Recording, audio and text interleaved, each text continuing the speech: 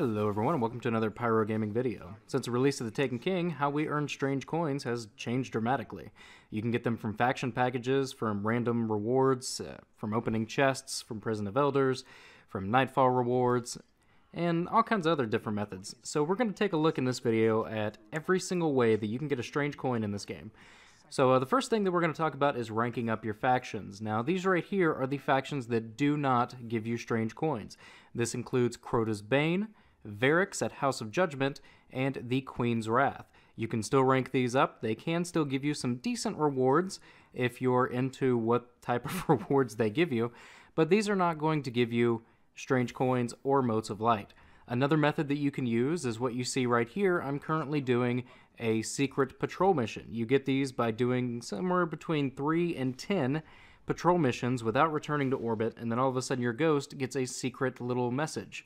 So let's take a look now at the factions that will give you strange coins. This includes Iron Banner, rank 3 and 5, the Crucible, the Vanguard, all three of your factions, Dead Orbit, New Monarchy, Future War Cult, as well as the Cryptarch and the Gunsmith. Every single one of these factions is guaranteed to give you 4 motes of light and 4 strange coins. These are very easy to rank up, especially Crucible and Vanguard. I had a brain fart there for a second. All you have to do is pop a reputation booster, go to town, and boom, you get your strange coins. Uh, another really easy one to do there is the gunsmith. Um, if you do all the gunsmith weapon bounties every week, then pretty much every other week you will rank up the gunsmith. And since the release of the April update, he gives you 330 weapons. So I mean, why not go for it? Why not do it? The gunsmith gives you some really, really good weapons. So uh, those are the guaranteed, so to speak, strange coins. So now we're going to take a look at some of the random strange coins that you can get within the game of Destiny. These are not guaranteed, but if you do get them, you can make a ton of strange coins in a very short amount of time. So these include, go ahead and taking a look, turning in bounties. Turning in bounties has a chance to turn one of your bounties into a strange coin. So do turning in blue Engrams at the Cryptarch. These can also turn into a strange coin for some reason.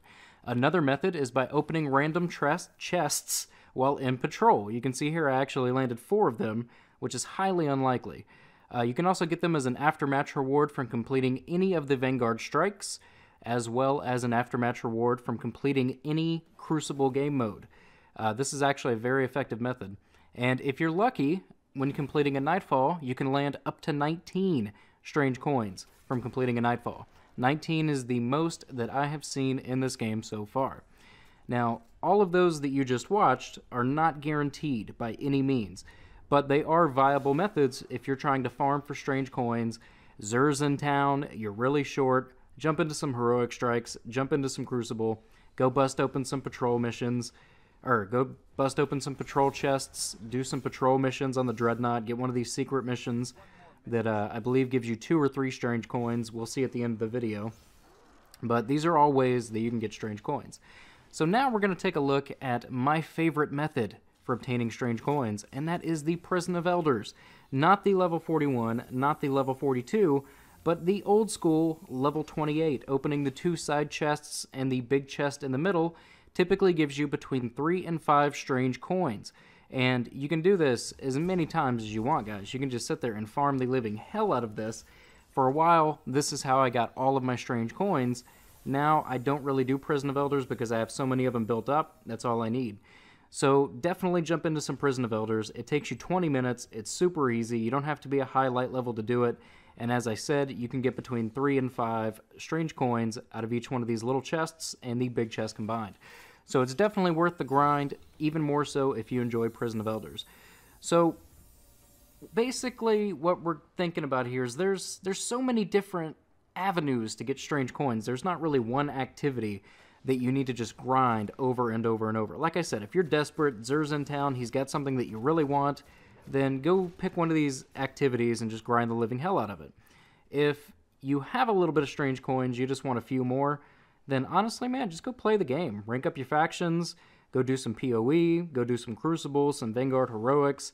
You're to get plenty of strange coins in a very small amount, or very small amount of time. But uh, anyway, guys, the last thing that I'm to leave you with is what you should be spending your strange coins on. With the addition of three coins in the Taken King and having bosses drop exotic Engrams, I have not purchased an exotic weapon or armor directly from Xur since the release of the Taken King. I just buy three of coins every single week. I put all my strange coins into it, and that's it. I just I wait for my weapons and armor to drop through Engrams. They drop really quickly if you do a lot of strikes. Uh, you can also go and do the Chamber of Knights or the Shrine of Oryx and the Eye of the Gate Lord. Just alternate those two about every five minutes in between. Kill those two bosses. You can farm the living hell out of some exotic Engrams, and that's even more valuable now that exotics have a chance to drop all the way up to 335.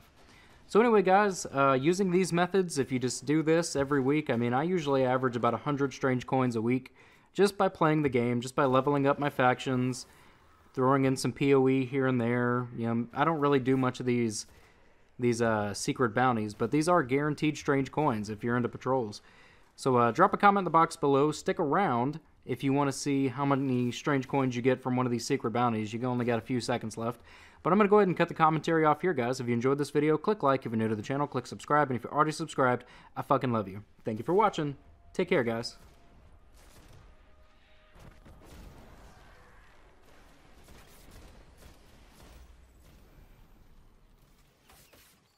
So that's what the message was about.